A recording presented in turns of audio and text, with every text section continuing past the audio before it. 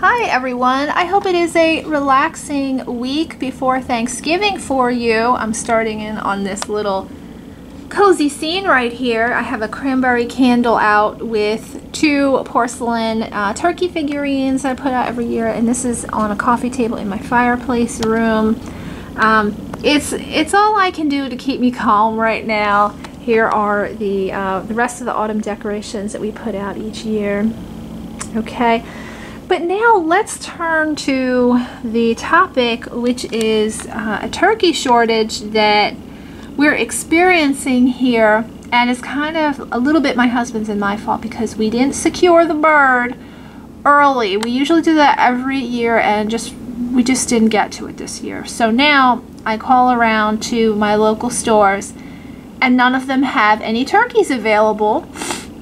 And they're saying, oh, so um, Kroger said that they're not sure they're going to get turkeys next week.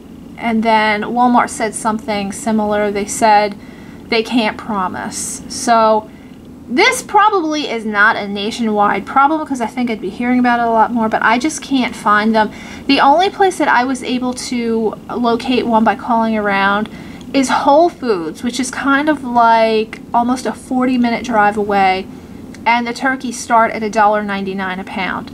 So I'm gonna I'm gonna click on this article right here and um, read that to you. I'll, read a little bit of it to you to tell you what's behind this. But so the turkeys at Whole Foods are $1.99 a pound to $2.99 a pound. And so the ones that are $1.99 a pound are non-organic. The ones that are $2.99 a pound are organic.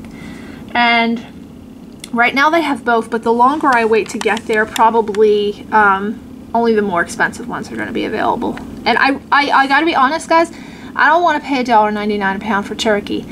Even though it's, it's a healthier one, I really should, but um, everything is costing more with the side dishes and everything this year, so it's just kind of one of those things where I just don't know really what to do. I'm kind of looking for an alternative to the turkey, but I'm having four guests this year, and I just don't know if they're going to be okay with not having the turkey.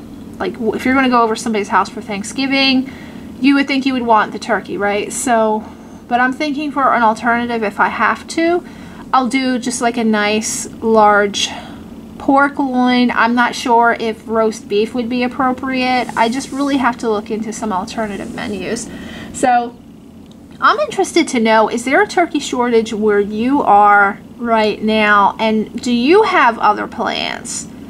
Do you have to come up with other plans? So anyway, this article, this article is, um, it is a little, almost a month old, but it kind of explains some of the stuff that's going on. There are, there were other articles, but that one had a nice colorful photo to it, so I clicked on it. So they're uh, talking about a highly pathogenic avian, uh, avian flu strain that is going through turkeys and it's worse than usual. It said um, over 3.5% of America's turkeys have died of it this year. And they say, oh, it doesn't sound like too high of a number, but it's over 7 million birds. Those those poor critters, I swear. I mean, I know they end up on our tables, but I, I still, I feel for them whether we eat them or they die of something else, really. So, uh, anyway, that's so depressing, guys, right? Okay, so they said that in addition to the avian flu, it was harder to find labor, affordable labor for the turkey farms, and the cost of fuel is driving it up as well, and the cost of the turkey feed.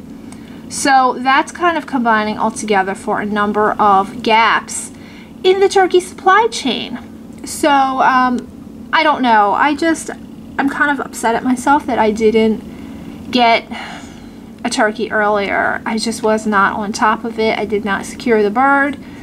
But anyway, what do you think? Is the pork loin an okay idea or should I go for roast beef or I don't think lamb would really be good because even though that's a food kind of like an ethnic food in my background, lamb is actually very expensive.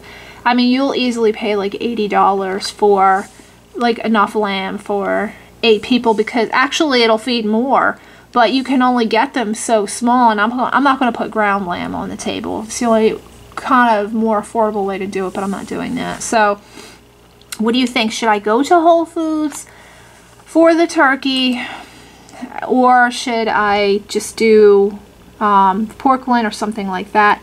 The side dishes are going to be great, right? I know they still have all those ingredients in stock. And there's one uh, vegan coming over for Thanksgiving, and I'm not going to ask everyone else to eat the vegan um, the vegan option. So I'm making a uh, like a vegan roast from scratch for them.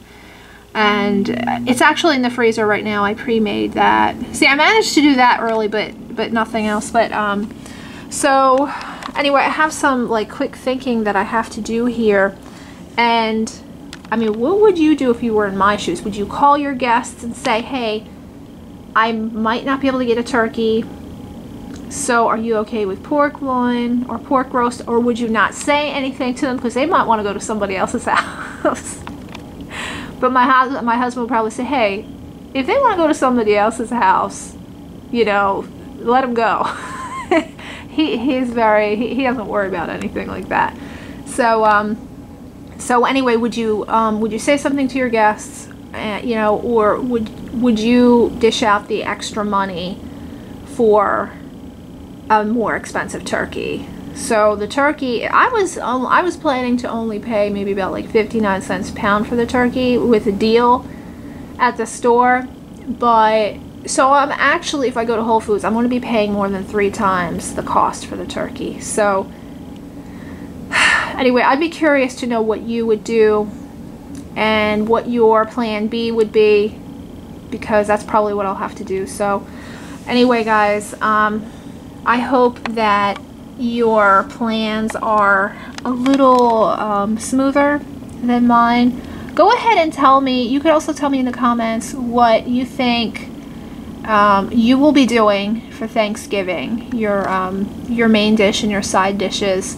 I do know that people from other ethnicities um, that kind of carry their ethnicity over to their life in the USA will have other um, dishes available, like side dishes. They'll blend that in with the Thanksgiving. So, for example, my friend from Jamaica that I've known since college, she puts in uh, dishes in there as well. I think they do some kind like something with oxtail on the side for for Thanksgiving, and I'm trying to think of some another one of my friends does something She's from uh, a con- uh, from a country in Africa originally, and they do something with jollof. I think it's called jollof rice.